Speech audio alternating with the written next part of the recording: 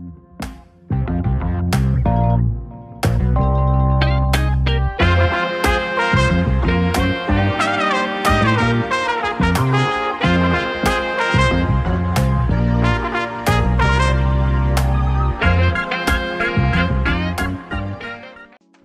Yo, yo, yo, Michael T. Porter here. Welcome to Rooted in Music TV, where everything that we talk about, everything that we discuss is rooted in music. I got another bomb episode for y'all, but before I begin, y'all hit that like button, subscribe button, that share button, hit that notification bell so you know when I'm dropping.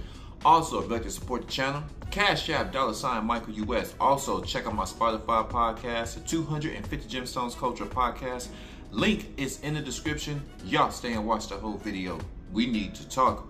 Justin Timberlake, go, go, go drinking his ass off. Got behind the wheel and the police caught him. Oh yeah, they caught him out there. I got a video on the play for y'all and I'm gonna be right back with you to give you my opinion. Let's go. Justin Timberlake has been released from custody following his arraignment on a DUI related charge out of New York's Long Island. Let's get right out to CBS News New York's Jenna DeAngelis. She's outside the courthouse in Sag Harbor. Jenna, I understand you have your hands on some court docs. That's right, Lindsay. So Justin Timberlake faced a judge here this morning just after 9 o'clock, and a short time ago, those court documents were released to us. So what they say is that a police officer observed Justin Timberlake driving a BMW in the village here after midnight and saw him run through a stop sign and swerve at least twice. So he was pulled over. And when the cops pulled him over, I want to give you the exact quote from the documents here. His eyes were, quote, bloodshot and glassy. And they also said, quote, a strong odor of alcoholic beverage was emanating from his breath. He was unable to divide attention. He had slowed speech. He was unsteady of foot and he performed poorly on all standardized field sobriety tests. Now, on this complaint here in the uh, oral admission form, Justin Timberlake allegedly said, quote, I had one martini and followed my friends home. So he faced the judge here this morning and he was released.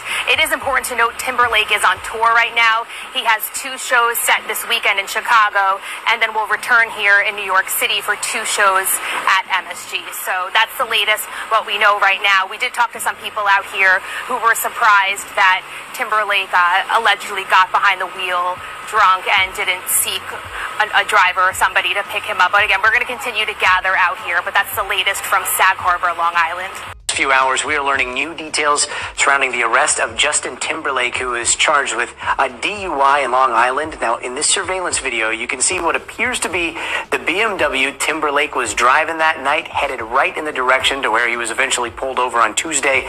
The video was taken by Hampton's DOT cam, which is the only source of continuous live video throughout the Hamptons.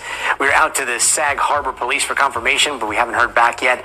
Now, Timberlake was pulled over early Tuesday morning morning, and police there say he ran a stop sign, then swerved out of his lane several times. NBC News correspondent Erin McLaughlin is there with the latest, including what Timberlake's lawyer is saying. Hey there, Aaron. Hey there. For the first time since his arrest, we are hearing from Justin Timberlake's attorney uh, releasing a statement just moments ago saying, quote, I look forward to vigorously defending Mr. Timberlake on these allegations. I will have a lot to say at the appropriate time, but am currently awaiting full discovery from the district attorney's office. Now, we know from court documents that the singer spent the night at the police station behind me on Tuesday morning before appearing in court on a DWI charge. He was pulled over by an officer in the middle of the night for blowing a stop sign and swerving a couple times. We also know from those court documents that he failed every single field sobriety test, although when he got to the police station, he refused chemical tests, which would have determined his exact blood alcohol levels. We know he pleaded not guilty, and now, according to his attorney, he's planning to fight this charge. In the meantime, there is this question mark around his world tour currently going from concert to concert. His next concert is expected in Chicago on Friday. His next court hearing, though, is July 26, which is when Damn. he's expected to be in Poland on tour, although we understand the net court hearing. Everybody messing up, everybody dropping the bag. Now Justin Timberlake ain't so squeaky clean. Uh, will be virtual. Back to you. Would y'all like my opinion? Would y'all like some of this Rooted in Music TV commentary? Well, of course you do. That's why your ass is here. Justin Timberlake, I don't know if he's stressed out. I don't know if he's nervous about his tour. He's on tour now. Justin Timberlake is a big name, and now, because for the longest, they've always been saying that Justin Timberlake has had a squeaky clean career. He always looked upon as the, the good guy, finished last after uh, Britney Spears cheated on him.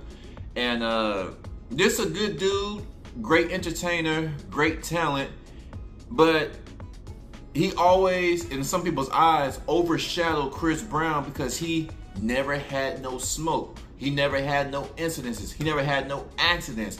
He never got jammed up by the police. Never been behind bars until now. Now, what you gonna say?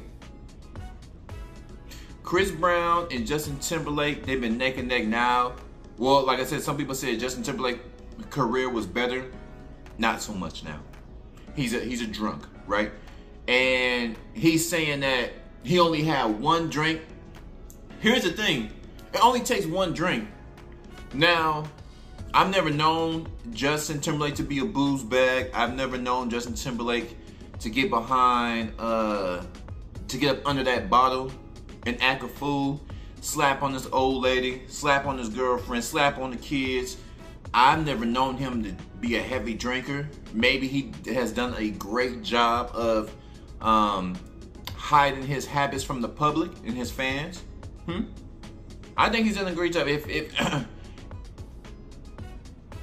if he is an alcoholic, Chris, Justin Timberlake is in his early 40s. He's been hiding it for almost 30 years. That's very impressive, actually. That's very impressive. But impressive or not, we're going to see what the outcome is going to be because they're saying that he refused to take the the blood test when he got locked up because that would have showed how much he actually had in his system, how much alcohol he actually had in his system. So he didn't want to take the uh, blood test. He has failed every other test, and he said all this off of one drink. I don't know about this one. I think that uh, I can't say because he's an alcoholic, because alcoholics don't know their limit. And even if you're an occasional drinker, you should know your limit. Because I'm trying to figure out overall whether you're alcoholic or just a, a person that drinks occasionally, how you not know your limit? Justin Timberlake, didn't you feel yourself getting woozy? Didn't the, the walls started spinning? And somebody else brought a good point. How come you don't, how come you take the blood test to see how much alcohol you had since you claim only had one drink? How come you don't know your limit? And why didn't you just take a damn Uber? You're on tour, you're getting money. You gotta provide for your family. Are, are you stressed out? What's really going on with Justin Timberlake? Y'all let me know. Flood my comments. 250 capital G Rooted in Music TV. I'm gone.